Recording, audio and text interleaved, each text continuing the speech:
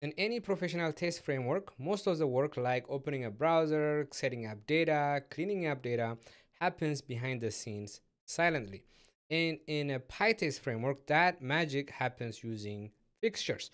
And in this video, we are going to talk about fixtures. We're going to look at examples. We're going to talk about why we need them and how we're going to use them. Fixtures are a fundamental and super powerful features of PyTest. PyTest is one of the most popular frameworks in PyTest. Fixtures make code clean, reusable, and avoid duplicates. And best way to learn fixtures is to actually do them. I cannot really explain them. I have to show you how they act, how they get applied. So we're going to go right into the code and look at we can look at that. So the code that I'm going to use for this example is going to be in the description. It is this repository that I have here. And um, if you look at the table of content and there is a part that says mastering fixtures, you can just go to that section. And in, within this framework, I created example specifically for this video. So under tests, when you go to fixture examples, you'll be able to follow along and you should uh, you should be you should actually be following along, not just watching the video. Uh, just check out this code because I'm going to create a bunch of videos related to this code. So just practice, look at what fixtures are, test things out, and see how they work. Okay. All right, so let's jump right into VS Code and start talking about them. So it's the same code I just showed you. I have fixture examples. We're going to start with the basic fixture yield. So the main point of a fixture, the use case, what we use it for is setup and teardown. So an automation, a setup and a teardown, hopefully you know by now, is preparing something for your test. Then after the test is done, best just cleaning up, right? Let's say you want to create a database connection. So you create a database connection before you test at the setup, your, all your tests would run, then you close the database connection. Uh, one of the most common one is you open a browser in a setup, your test would run in that browser, and you close the browser in a teardown. Another uh, example which would work both for the front end and the back end is let's say you your test is to create a user. So in your test, you create a user which corrupts the data, right? You create fake data in the database in the in the system. Then in your teardown, you probably want to go and delete that user. You want to clean up the environment. So in that example, you might not have a setup, but you definitely have a teardown because in your test, you created a some kind of data, but you don't want to keep that data, so you, you delete it in teardown. So that's very common in automation, right? So if you're using a PyTest framework, fixtures is how you're going to use it. If you've used like robot framework before, which I love, uh, there is a keyword called teardown and a keyword called setup. You don't have to do it yourself like PyTest. Robot framework will handle it. But PyTest, they give you this, this powerful uh, feature called fixtures that will allow you to do that. So what a fixture is, is just a function, but unlike other test functions, it doesn't say, it doesn't have the word test in the name right? It's just any function. You just follow all the uh, the basic Python function naming rules, and you just name a function. Then what makes it special is you have a you add a decorator at pytest fixture. So you import pytest, pytest.fixture, you add that decorator. Now that function becomes a fixture. And we use a yield, right? If you don't know what yield is, you should look it up. It's like a return, but it's it's special. If you do a yield, like normally when you have a return, the you call that function, return something, and that function is done. But if you have a yield, you call that function, it will return something, and then will come, once you're done with the function that's calling it, it will actually come back to this function. I don't know if that's a good way to explain it, but it's a special thing in in uh, Python, and you're going to see how it is being used here. So it's just a function. It does something, it yields, then it does something. So basically, the first part is the setup. The second part is the teardown, before and after the yield. Now that is the fixture. We're going to look at a bunch of those, so don't worry if that didn't make much sense. Now we have a test here. This is a test, test example using fixtures. We can quickly run this test, right? I can just say pytest dash k, the name of the test, and I'm going to put dash s so we can see the print statements. All right, so the test runs. We don't need to look at that right now. So what this test is doing is, is using this fixture. So the way uh, we apply fixtures, we have two different ways. So we're going to talk about both of them. And this is one of the ways. Um, this is a less common way, but it's much easier to understand. You just say use fixture, so it's clean. Okay, I'm using a fixture, and you just give it the name of the fixture. So this function will use a fixture. What happens here is when this test runs, in this since it's using this fixture, everything that is before the yield will execute. Then this test will execute. Then anything after the yield gets executed. Okay, let me repeat that. Since this test is using that fixture, when this test is executed, the first thing that gets run or that gets executed is everything that's before the yield inside of the fixture. Then the test will run, then everything after the yield would run. So let's look at the example here. The, when, when we run this, we just run this test. If you see this test when it runs, it's going to print I am the test and I am running now. But before this got even executed, before this got printed, what did we see first? We see the setup get printed first. So everything before the yield gets executed, then it goes to the test and it executes the test, right? Then it goes right back to the fixture and it executes the step that is after the yield. So you can see the three steps here, two of them come from the fixture. So everything before the before the yield, the test, then everything after the yield. And that is one of the ways we apply fixtures. And the, the reason we apply fixtures this way is when we don't need any data that is created inside of the fixture itself. In this case, the fixture is not returning something. It's not creating an object that we're going to need in our test. It's just doing stuff. We don't need any of that information. If we do need some of the information that was created here in the test, that's another way of doing it. For that one, we're going to look at this example test return value fixture. So when we look at this fixture, this test, this uh, example here, we have one fixture, the same thing. The name of the fixture is use credentials. We add a decorator to it right? At, at PyTest fixture. And this guy, what does this fixture do? It, it does print just like the previous one we saw. It has a dictionary, right? An object called credentials. Then in the yield, it's actually returning it. Well, yielding it. I guess that would be the right word, yielding it. But think of it just like it's returning it. Then after the yield, we have some more code. Now, this test here does not have that at PyTest mark that use fixture. Instead, we pass in the name of the fixture, basically the name of the function here. This is the function. We're going to pass that in here as a parameter to this test. When we do that inside of that test, we can access this parameter just like we, we would access any other object. Whatever the object this yield returned, right? Yielded. I'm so used to saying returned.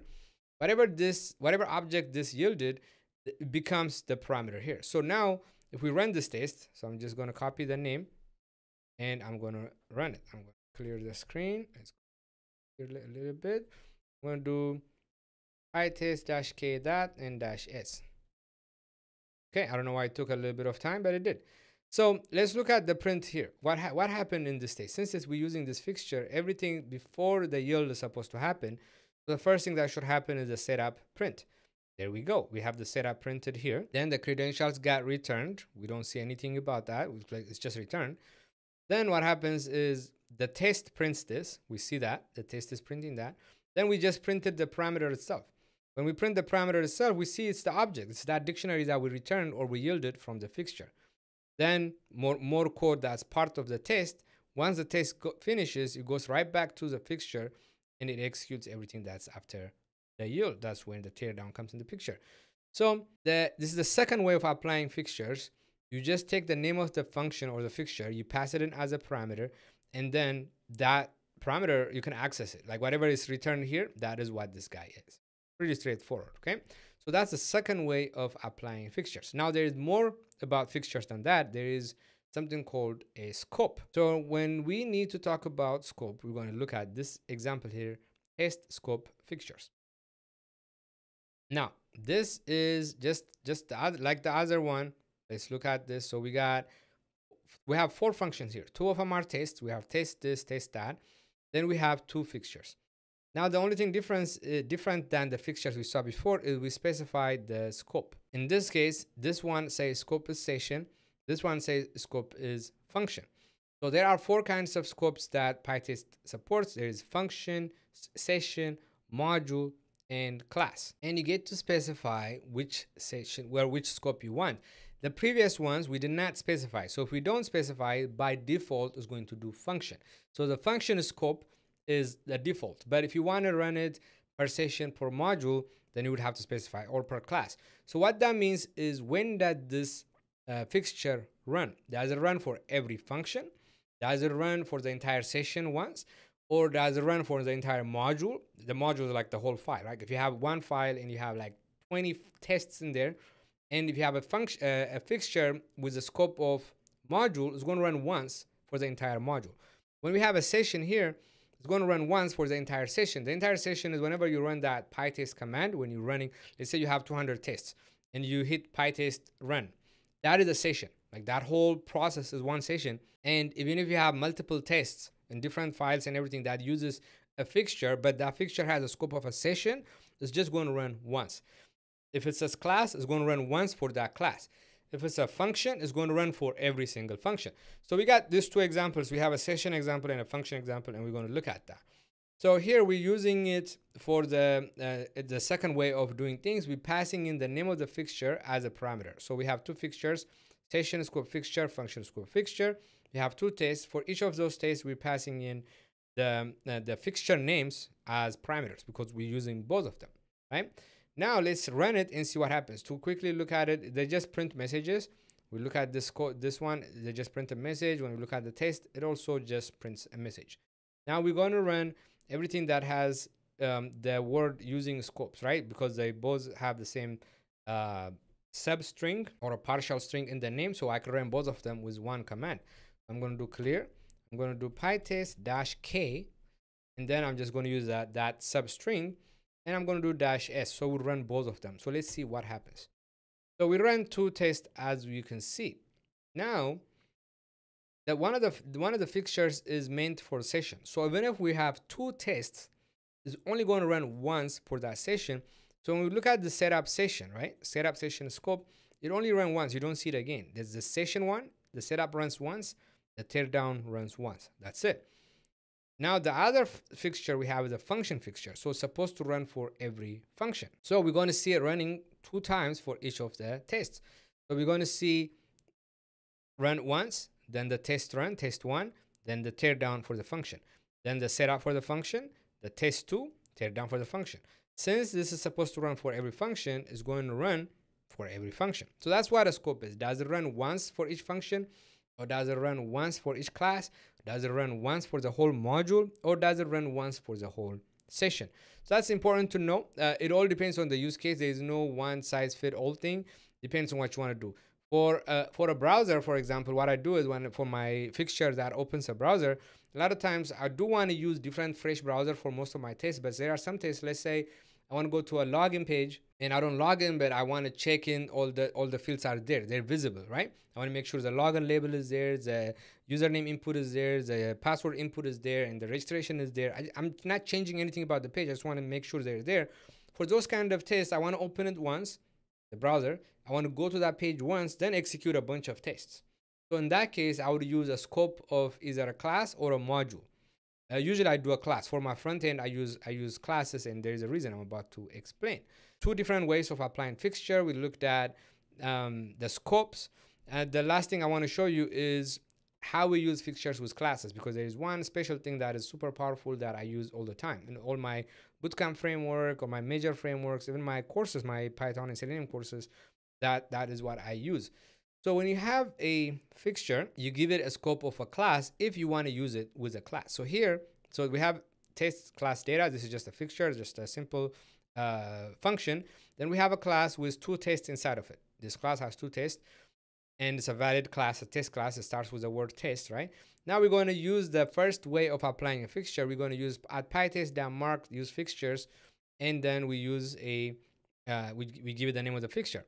Now, like I said before, the, we use this when we don't need any data that was created in the fixture. But in this case, it's a little different. We can still use data that was created in the fixture.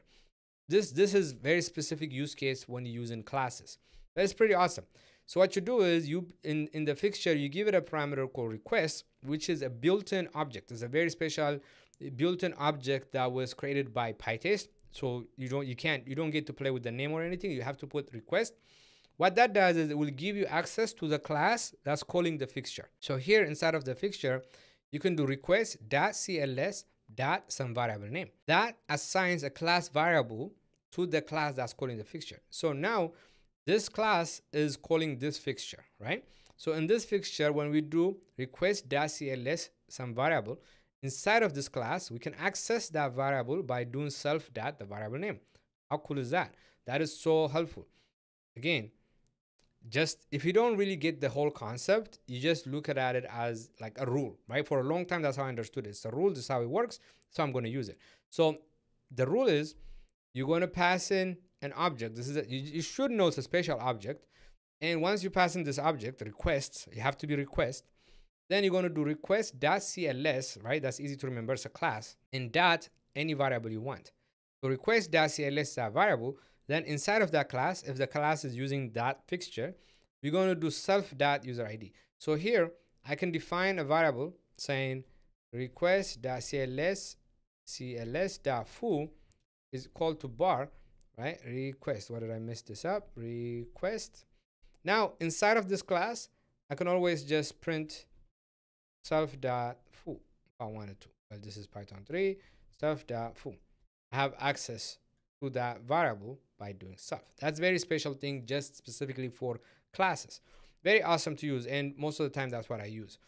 One additional information that is a little bit, it's not about fixtures, but in general, there is a, a file called conftest. If you're working with a PyTest framework, there's a special file called conftest, and you usually define fixtures inside of the conftest. If you define the fixture inside of the conf test, it will be available throughout the entire framework. Any of your tests in any file will have access to this uh, this fixture, so you can just apply to that fixture. You can say use fixture, or you can just pass it in as a parameter. Um, a good example is the browser, right? Opening a browser. You want to open a browser in a lot of different files. So you will put it in conf test, so all your front-end files, all your front-end tests will have access to this fixture. All the other examples we saw so far, the fixture is within the same file. You have the test, you have the fixture. You have the test, you have the fixture. Now, if you do want the fixture to be available in more than one place, we want it in multiple files, this conftest.py is a very special file that you can put your fixtures there. So that's a topic for another time, but I just want to bring it up. Most of the time when you see fixtures, you're going to see them in this conftest.py. Hopefully you found that useful. Fixtures are confusing. If you are confused, don't be like intimidated or discouraged or anything like that. They're really confusing for people. You just have to practice them. You have to try them out. Like just watching me is not going to help. Trust me, it's not because this is coding. You do have to practice. The best thing you can do right now if you want to understand fixtures is check out the code that I provided and run through the examples I, I went through. But it's not just about running them. Change things out. Comment something out. Add more print statements. Ch challenge yourself. What if I do this? What if I change the module, the scope from module to class? What if I change the scope to session? What happens? Experiment. That's really the best way you're going to learn. Okay.